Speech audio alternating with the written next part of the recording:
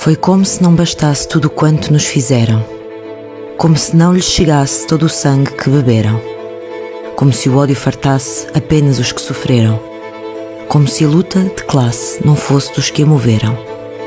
Foi como se as mãos partidas ou as unhas arrancadas fossem outras tantas vidas outra vez incendiadas. A voz de anticomunista o patrão surgiu de novo e com a miséria à vista tentou dividir o povo. E falou à multidão, tal como estava previsto, usando sem ter razão a falsa ideia de Cristo.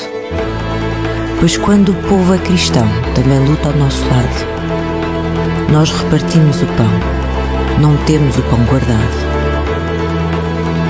Por isso, quando os burgueses nos quiserem destruir, encontram os portugueses que souberam resistir.